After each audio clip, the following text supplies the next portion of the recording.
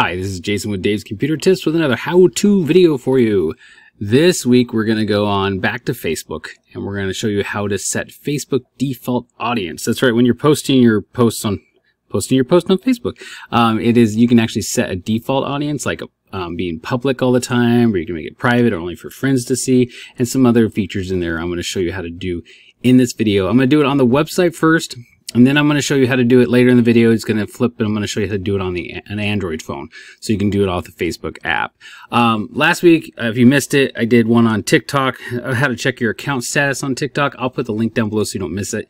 And before that, I did a whole bunch of Facebook videos. So I will put the links down below for that too.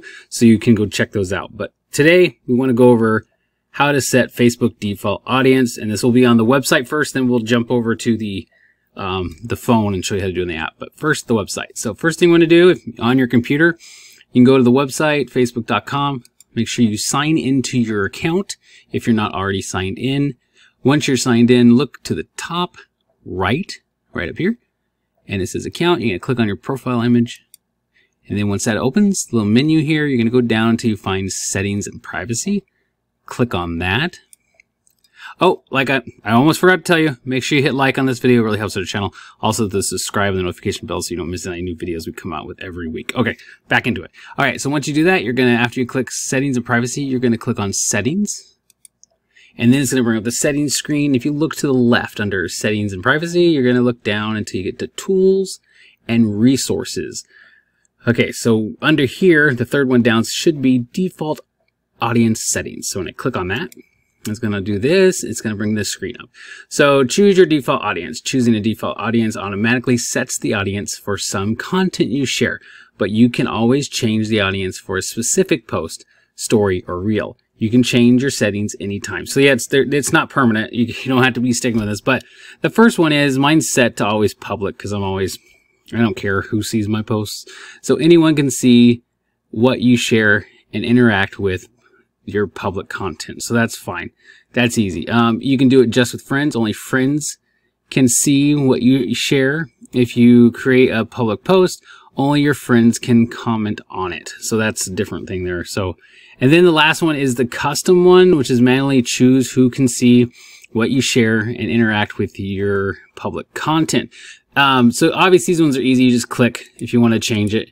But we want to check, I want to do this as an example, custom. If you click on custom and then hit next, and it's going to bring up this window. It says custom settings. So who can see your future posts? You, right now it's set to public. You can click, just click anywhere on that item and you can come in here and change it to public or friends or friends exempt do not show to some friends. You can actually exempt some people which is kind of some people you, they're friends but they're not really that good of friends. You can mess with them. Um, only me can see it. I don't know why you would do that. Um, specific friends that's my wife. That's pretty easy. Or you custom include and exclude friends so you can do really customizing it.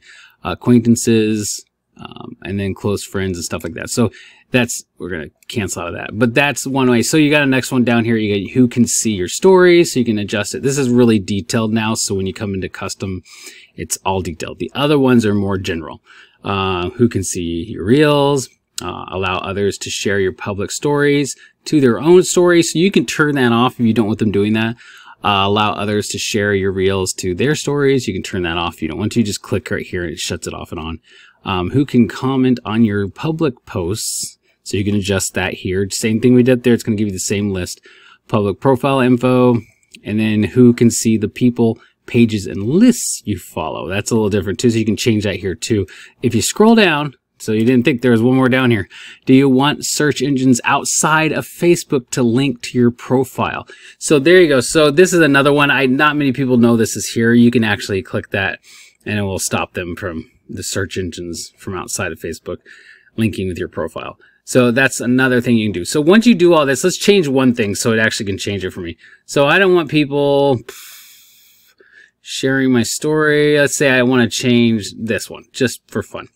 And then you go down here and you say done. So click the done button. And then it's going to pop up. It says default audience updated. Your default audience on Facebook has been updated to custom. You can change um, your settings anytime. And then you click done. And we're done. That's how easy it is to do on the website. So like I said, all you have to do is change it. So we'll go back here real quick and see, I can just, I'm going to change it back to public and hit next if you do that. And it's going to do the same thing. It's going to tell you, and this is nice because it's a review selection. It shows you what you just did with that one selection and then read all this you want. And if you're happy with it, you can always edit settings. If you hit edit settings, it takes you back to that custom screen. So let's click it. See custom screen. So we don't want to do that. We say, Hey, it looks great. Don't need to customize anything. You say confirm and same thing. It's going to tell you you did it. This is changed and you say done and done. That's it. That's easy. As, that's how easy it is to do on the website. I'm going to jump over here in just a second over to this, my cell phone and show you how on the Facebook app. Okay, now we're on my phone. This is a Motorola Edge Android phone. I'm showing you how to do this on the Facebook now. On the Facebook. On the Facebook app now. All right, we're going to tap on the Facebook app. Once you open that up, you're going to wait till it opens, and you're going to look to the top right, and you're going to tap on the profile image. Tap it a little harder. Okay, once this does, once this opens, you're gonna scroll down or swipe up, uh, whichever you want to do. Oh, swipe up, not too far. Down here, it says settings and privacy. Tap on that. And then once settings and privacy opens up, just like we did on the website, we're gonna go up to here and tap on settings. And then when settings opens, we're looking for the same thing we did last time. So you're looking for tools and resources, which is right here. And then you're looking for default audience settings. Tap on that. It's the exact same way the other one did. This is all the same. So if we change it to just friends or we change it to here, eh, there we go.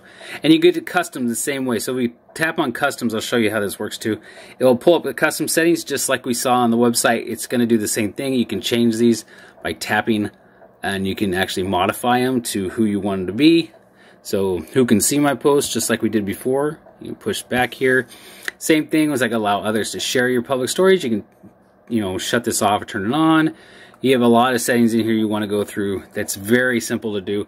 If you're done, let's say you change let's say we'll change one thing here. We're going to change this back. So we change that. We don't want anybody sharing my reels. Actually, I want people to share my reels. Let's get rid of this one. All right. And then once you do that, you're going to look to the top right and the done button's up here. The done link, the before on the website it's down here, but it's up here in the corner. So you're to say done. It's to do the same thing. It's to say, oh, your default audience is updated. And at the bottom, let me move this back. Sorry, guys. There's a done button on the bottom. I wanted to make sure you saw that. And you tap on that, and that's it. That's how easy it is to do it on your Facebook app also. So let's go back in. We're to switch it back. So I'm to hit the public one at the top, as we did before.